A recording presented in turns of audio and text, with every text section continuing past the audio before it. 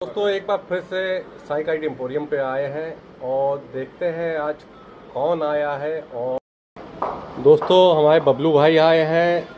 हमारी दुकान पे पहली बार जो मैं आपसे बात बताई जब से दुकान हमने ओपनिंग की है इनविटेशन इनका भी था लेकिन आज आए हैं। और बबलू भाई क्या हाल चाल ठीक है। और बताइए पतंग वतंग बना रहे? सुना है लोग कहते हैं कि आप पतंग नहीं बनाते? बनाएँगे नहीं भाई खाएँगे क्या? हम्म? नहीं लोग कहते हैं ना। लोग कहने वाले तो बहुत कुछ कहते हैं। अच्छा। बबलू भाई क्या लाए? हैं जरा दिखाइए आज। और दोस्तों आशी भाई भी खड़े हुए हैं। वाह मज़ा आ गया बबलू भाई। बहुत उमदा देखिए हम आपको दिखा रहे गौर से गांठदार कैमरा पास ले आइए।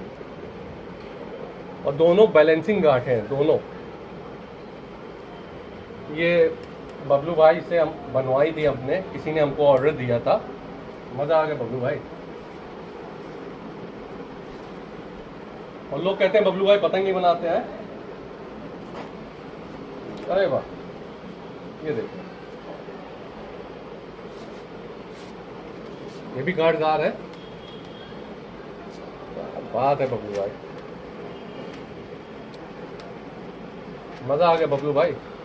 बबलू भाई का शुक्रिया कहेंगे कि बबलू भाई ने यहाँ आए और इनका शुक्रिया, हमें पता है कैसे करना है। चाय के बहुत शौकीन है ये। चाय जो है ला के जो है इनका शुक्रिया बबलू भाई।